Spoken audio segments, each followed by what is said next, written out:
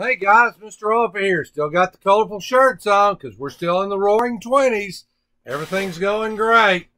Uh, so let's talk about our two presidents. Remember, you have to write a presidential paper. In this series, we're going to discuss two. One I think's a pretty good guy.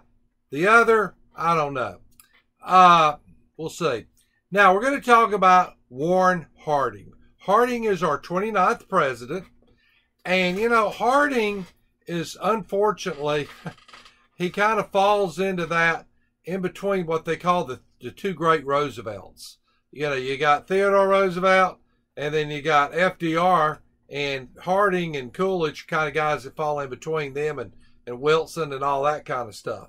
Now, first of all, guys, the 19th Amendment's been passed. Women have the right to vote.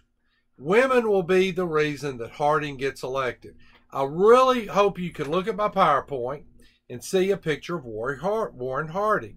Because uh, he was considered just the really handsome guy of his day.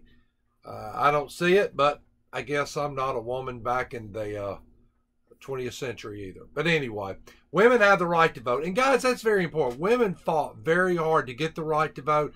Once women obtain the right to vote, they're going to be very much out there voting, campaigning.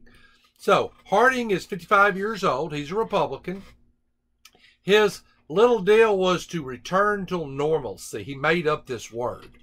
Now, the interesting thing I always tell my students, guys, when we study about guys like Bill Clinton and different presidents, JFK that obviously had uh, uh, all kind of scandals while they were in office. Uh, this guy is going to be one of the first, okay? And I always tell people it was probably women that got him in, women that got him in trouble, and maybe a woman that got him in the grave. So while he's in office, he doesn't do a whole lot, but he is kind of a, during his Harding was a kind of a cigar smoking guy. He even had him a little, uh, this is during Prohibition. He had him a little uh, liquor cabinet there at the White House where he was drinking liquor. So everything was really going really, you know, they had a kind of party central there.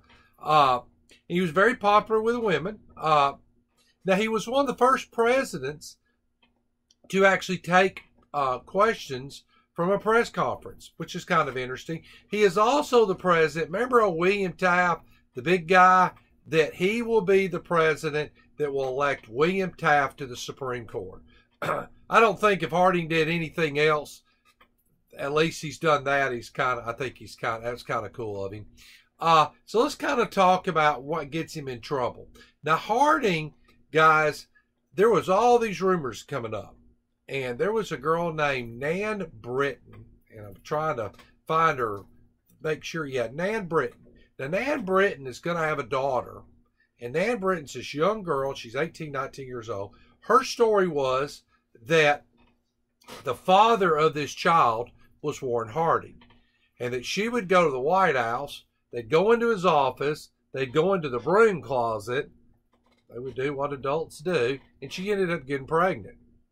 Uh, which I've always tell my students whenever we see a scandal, we think, oh, I can't believe that. You know, that's never happened before. You look far enough in history, guys, it has happened before. Warren Harding was the guy. Now, Warren Harding, before we end this, I have to tell you, he kind of, you know, he dies on a very strange note. Uh, Warren Harding is going to Alaska. Alaska's just been made a state. and he's on this train trip going to Alaska, and he gets ill. He's president of the United States. He gets ill. They check him into a hotel. Well, he, he his health begins to deteriorate for the next couple of days, and he dies. Now, his wife is very interesting. His wife, uh, who obviously she'd been reading all the papers about all the affairs and all the stuff, his wife, after he is dead, tells them there's not a reason to do an autopsy. I think that's kind of odd. Back then, the wife could make that call. So Warren Harding is deceased. No autopsy. Uh, who knows? We're going to come back with his predecessor, one I think y'all going to like.